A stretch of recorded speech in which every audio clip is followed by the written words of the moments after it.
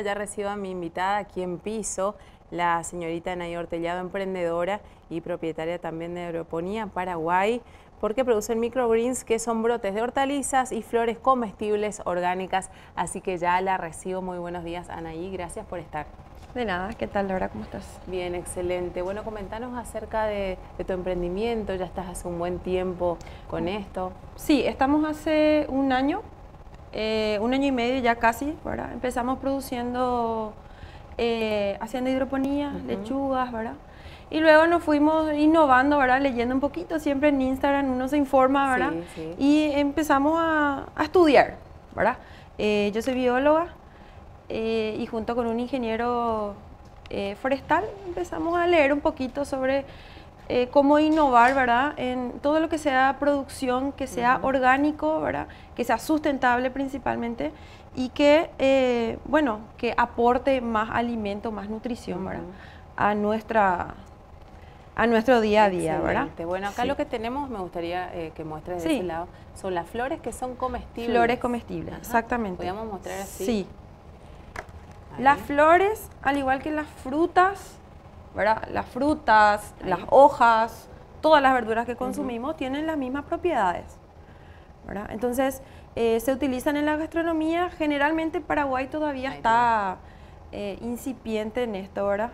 Apenas estamos empezando a utilizar los chefs que es algo muy sí, Entonces son los que más utilizan, ¿verdad?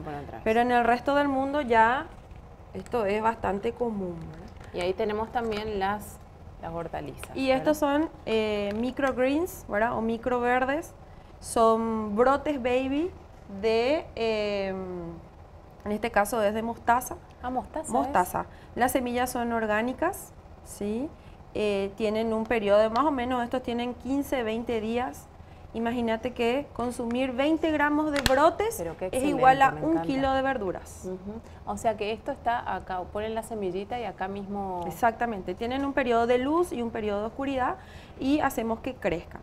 Lo importante es que está lleno de vitaminas, enzimas, minerales que son sumamente importantes en la dieta. Excelente. Bueno, y aparte de las flores, aparte de los brotes de mostaza que tenemos acá, ¿cuáles son otras hortalizas que también Solamente estamos dedicados a eso, ¿verdad? Empezamos a producir para los restaurantes, ¿verdad? Y nos va bastante bien. Qué bueno. Bueno, ¿y esta, cómo se llaman estas flores?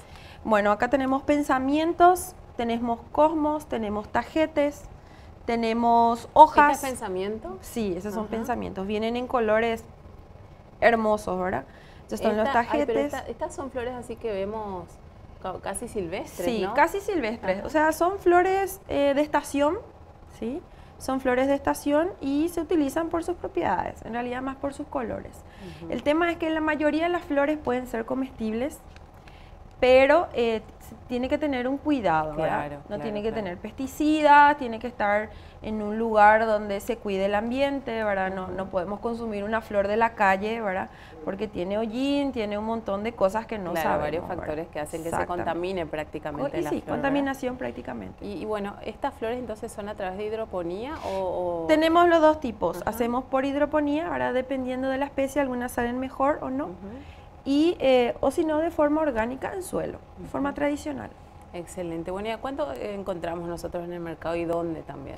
Bueno, eh, nosotros trabajamos bajo pedidos, ¿sí? Eh, porque son frescas. Entonces yo me pedís un día y al día siguiente yo te preparo. Todo se colecta fresco. Esto dura más o menos 10 días en la heladera, una heladera común, bien refrigerado.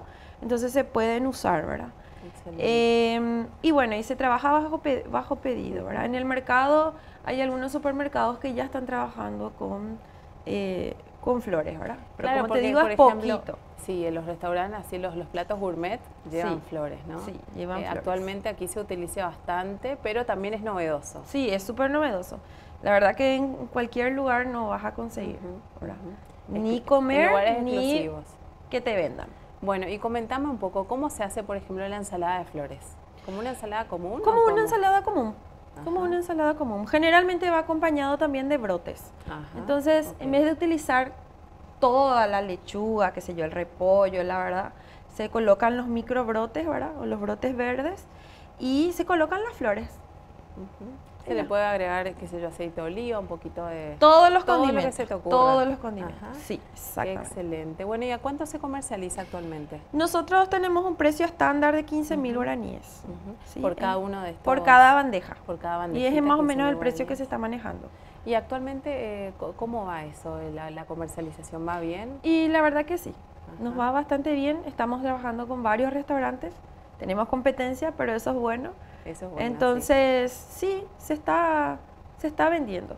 Eh, las escuelas de cocina también son clientes nuestros, para todas las escuelas de cocina, y los alumnos ya empiezan desde el vamos, ¿verdad? A practicar y a ver, tienen clases, solemos dar clases, ¿verdad? De cuáles son las propiedades, para qué se usa, eh, cómo se usa, ¿verdad? Entonces, está, estamos por buen camino. Mm, Qué excelente. Bueno, cuando, cuando se les ocurrió hacer este negocio, ¿verdad? Cuando se les ocurrió empezar eh, con esto, ¿qué, qué les decía la gente? Porque famoso así que te, que te ponen como, tra- como flores para Sí, comer. todo el mundo- ¿no? Es como algo así. Sí, todo el mundo. Y eso se come. Y eso Claro. se come, ¿verdad? Sí, se Claro, come. porque ves como una flor común que la puedes Sí. tener en tu jardín, pero sin embargo también la puedes tener en tu ensalada. Exactamente. La ventaja de nosotros es que nosotros vendemos la flor entera. Ok. Entonces, vos sabés qué estás consumiendo. Porque de repente te venden solamente los pétalos y no sabes de dónde salió, qué es, cómo buscas. Ah, bueno, ahí está la- una diferencia importante Sí. entonces también. Entonces, acá yo puedo ver, saco una foto y veo, ah, ¿esta es comestible o no? Perfecto. ¿Verdad? Y esa es una ventaja. También para refrigerar dura más tiempo. También. Dura más tiempo en la heladera. Excelente. Bueno, ¿y cómo, eh, o, sea, tienen invernaderos? ¿En, en dónde se, se las Tenemos, protege? tenemos un, un invernadero para los brotes y para las flores están al aire libre. Ujú. Sí. ¿Cuán- eh, ¿Cómo es de grande para tener una idea? El Y- lugar. Eh, bueno, y es pequeño, Es no pequeño. necesitas mucho espacio. Generalmente los brotes se hacen en salas o en cámaras pequeñas, ¿verdad?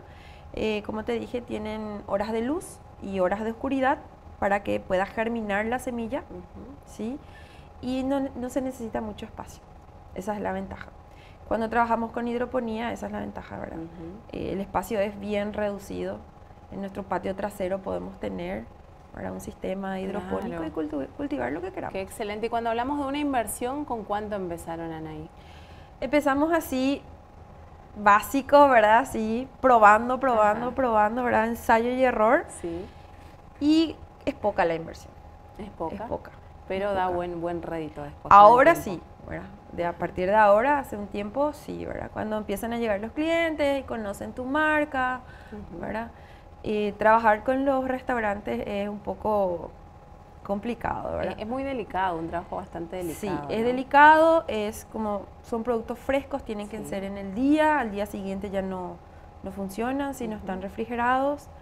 Eh, los restaurantes te piden un día antes y si no cumplís, ya no te piden más, Ujú, ¿verdad? ujú, excelente. Como somos pocos los que producimos, Claro, sí. entonces no les queda de sí, otra de más repente, vale. ¿verdad? ¿Y, y cómo se les ocurrió esto, Anaí? Un día, qué sé yo, estaban comiendo en un restaurante y, y vieron algo así o apuntaron a la sustentabilidad también. Sí, todo era en base sustentable para consumo familiar, ¿verdad? Para consumo nuestro.